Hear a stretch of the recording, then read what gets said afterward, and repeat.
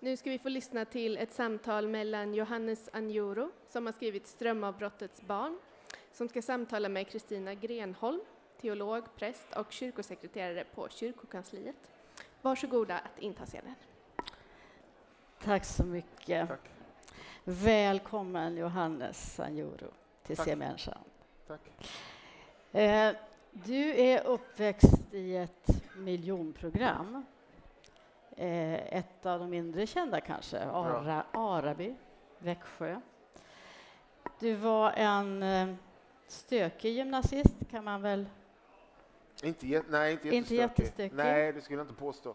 Det, möjligen så är det så att min, min självbild kan nog ha varit att jag kanske var lite stökig, men, men jag menar, jag gick naturvetenskapligt pro- program på gymnasiet. Ja, men trots att du då gick naturvetenskapligt program så drabbades du av poesin. Mm.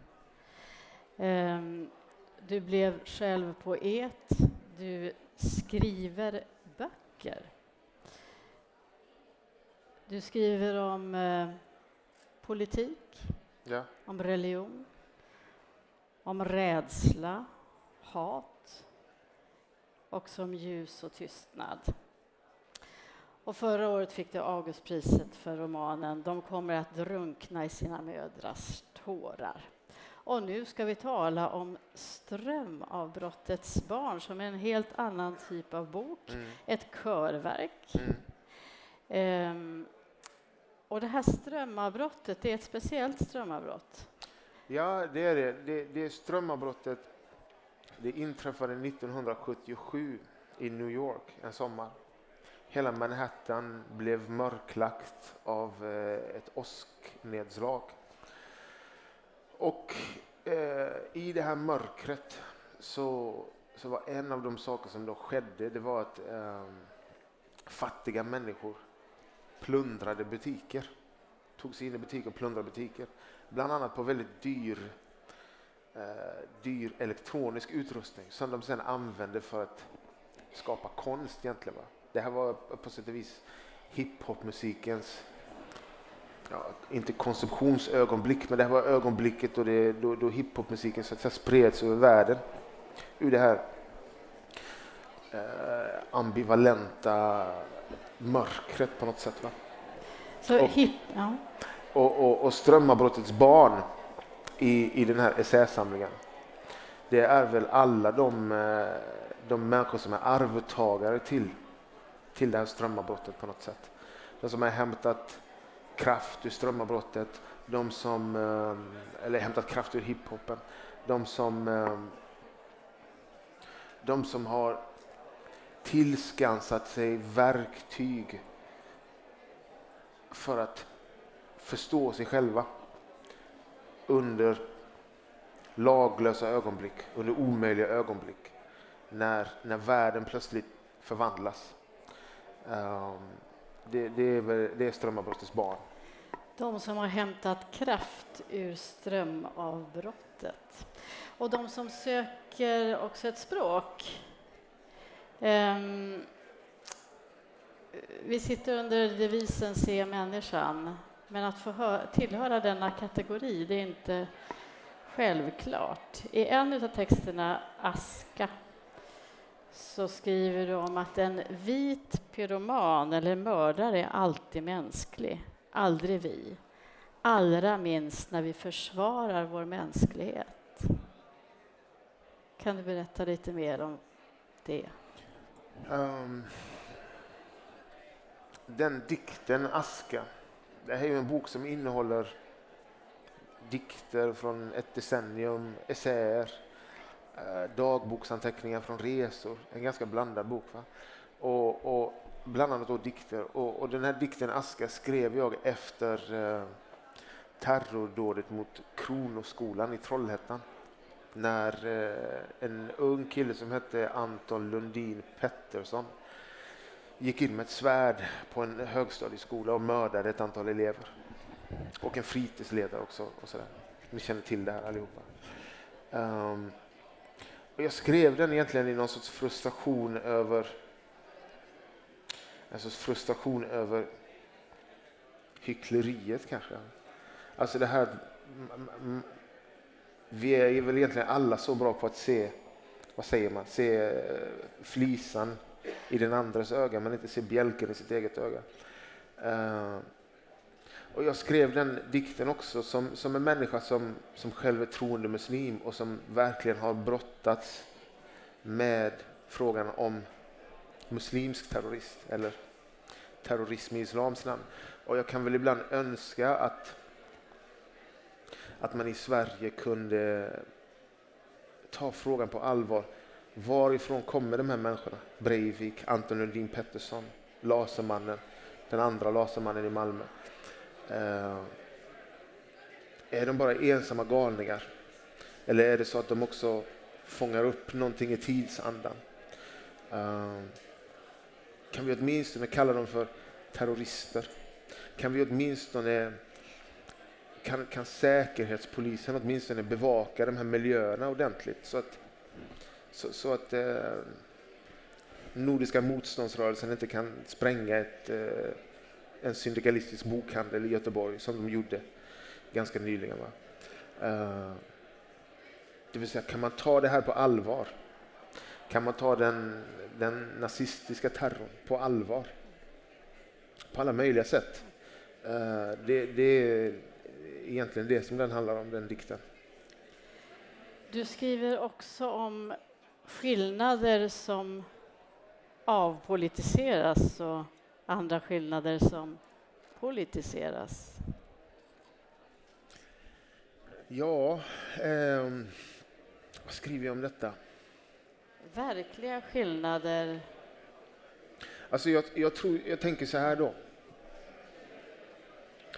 Mycket av, det som, mycket av det som jag har tänkt och skrivit de senaste tre, fyra åren kanske har handlat om frågan att vara, egentligen frågan om att vara troende i ett väldigt sekulärt land. Men dessutom då att tillhöra en, en tro som är väldigt, eh, som, som på sätt och vis blir, som blir betraktad som främmande i Sverige, det vill säga att vara muslim. Jag har tänkt mycket kring den frågan och hur den frågan både tangerar rasism men också hur den skiljer sig från rasism. Och eh, när du säger verkliga skillnader och, ja, och inte overkliga skillnader utan alltså fiktiva skillnader så, så handlar det om att rasismen rasismen säger att eh, Johannes Anjoro, du är annorlunda för att ditt hår ser ut på ett visst sätt och du har en viss hudfärg. Det vill säga det är en skillnad som finns naturligtvis, en, en kosmetisk skillnad, men som inte, det finns inget verkligt i den här skillnaden. Det är en sorts, det är en sorts eh, språk kan man säga. Och sen finns då det här andra språket som säger så här, Johannes gjorde du är annorlunda för att du är muslim.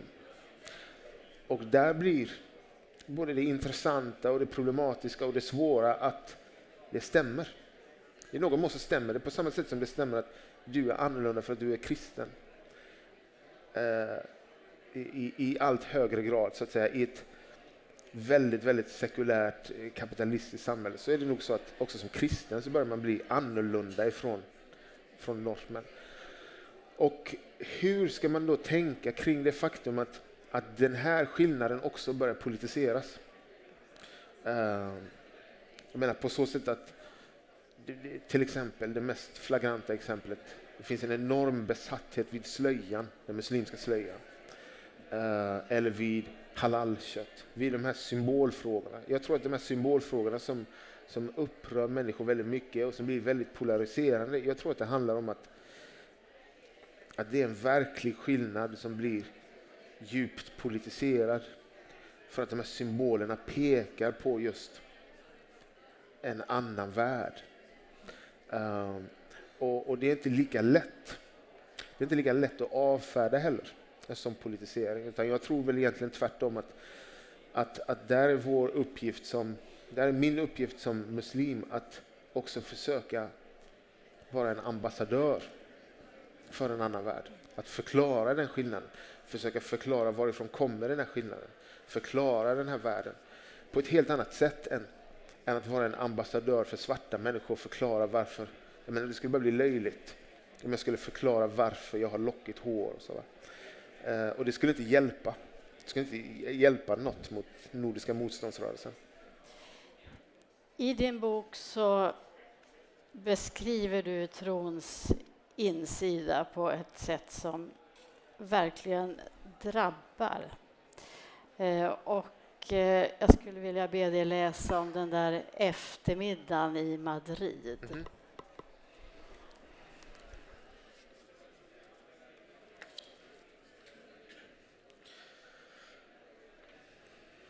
Den där eftermiddagen i Madrid när jag gråtande satt framför en grupp främlingar och uttalade trosbekännelsen förändrades inte i första hand mina idéer om hur jag skulle leva mitt liv.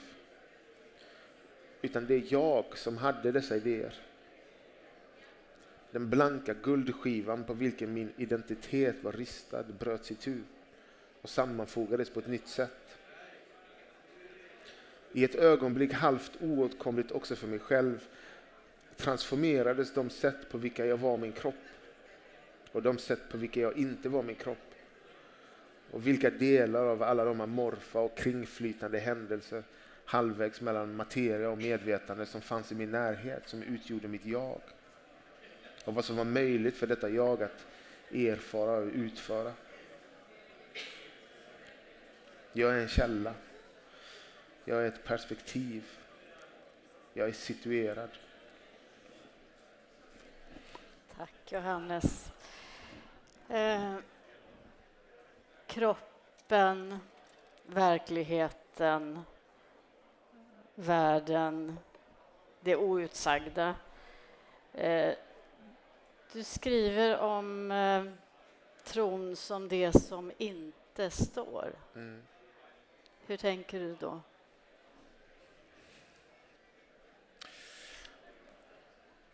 Då tänker jag egentligen alltså tron är ett svar på frågan om döden, tänker jag.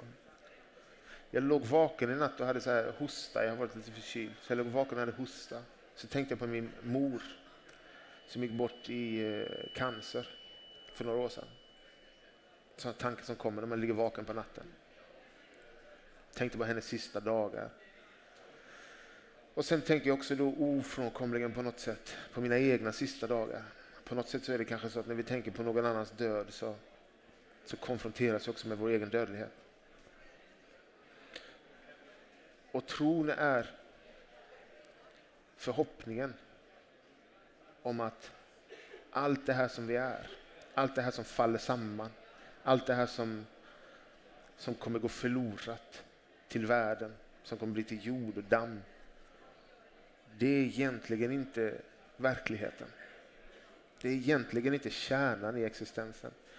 Och, och för mig som är troende så, så det som hände egentligen den där eftermiddagen i Spanien, i Madrid, när jag, när jag blev muslim, det var att, här, att jag valde att tro på den här viskningen som finns, som fanns i mig ända sedan jag var liten, som handlar om att du, du kan vakna upp ur en dröm och fatta ditt livs viktigaste beslut. Därför att på, på något plan så vet du att livet är inte, det är inte logiskt. Det är inte ett pussel som man ska lösa utan det är en gåta eller en dikt. Du, du, du kan se en människa tvärs över rummet och veta att det här är den människan som jag ska leva med resten av mitt liv. Därför att livet är egentligen livet är egentligen allt det som inte är på något sätt. Va? Alltså eh, konkret, vi är inte våra kroppar. Vi är inte bara våra kroppar. Vi, vi har också en annan dimension, en annan aspekt. Och, och tron är på något sätt, alltså första steget i tron är att bejaka det. Att vi är något mer. Och att börja tänka att detta något mer, det här som inte står skrivet, det är viktigare än det som står skrivet i materien. Uh, och rent, rent faktiskt så är det så att det här med det som inte står skrivet det kommer från Miles Davis av alla märkliga källor. Jazzmusikern Miles Davis sa en gång till sina musiker som han spelade med Han delade ut noter, av musik som han har skrivit. och så säger han till dem, spela det som inte står. Eh, en inte helt enkel instruktion va, att få som musiker naturligtvis. Men, men eh, det, det, den är fin, det är en fin metafor tycker jag därför att eh, tron är inte heller enkel. Tror jag, va? Om tron är enkel så tror jag att då, då, då, då är man nog på väg att gå fel skulle jag säga nästan. Man upplever att tron är väldigt, är det väldigt enkelt att tro. Oavsett vad man tror på kanske. Va? Också om man upplever det väldigt enkelt och tänker att självklart finns det inget annat. Självklart är, är världen bara materia som finns av en slump. Det är självklart för en. Då, då är man ju naturligtvis också ute, ute fel. Utan tron är svår. Tron är svår. Tron är precis som att få ett notpapper och så säger någon spela det som inte står. Mm. Och jag börjar med att beskriva att du, sk du skriver mycket om hemska saker. Du skriver om våld och hat och tortyr och så skriver du samtidigt om detta viktiga som liksom ligger eh, bortom och ändå lite inom räckhåll. Mm. Eh,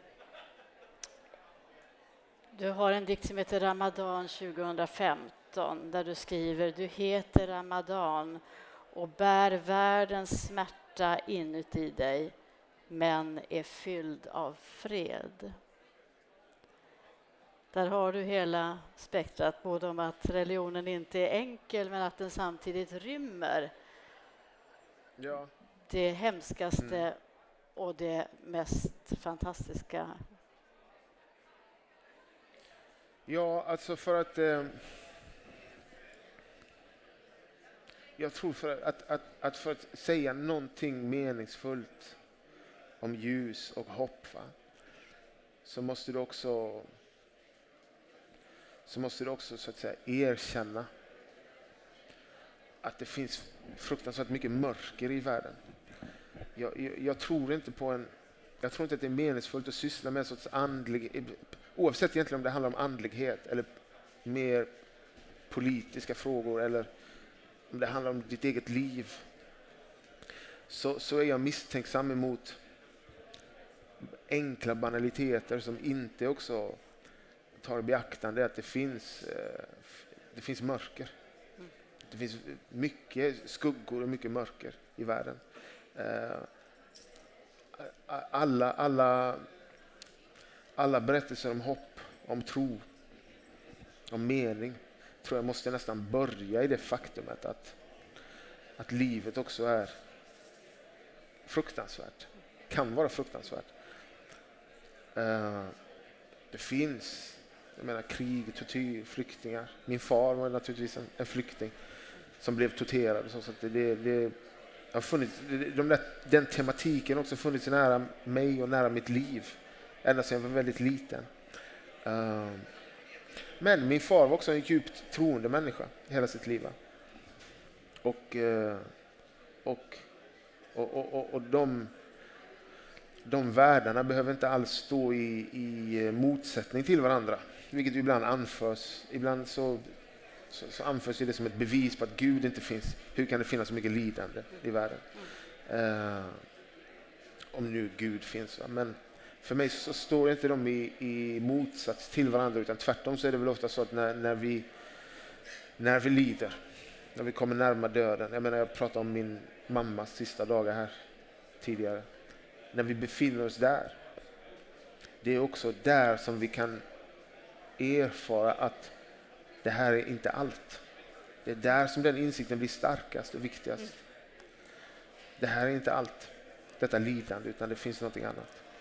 Det här är inte allt. Och du eh, skriver själv om skrivandets genomsläpplighet, om skrivandet som ett kärlekstänkande. Tack för att du kom hit, Johannes. Tack. Tack för det du skriver. Tack.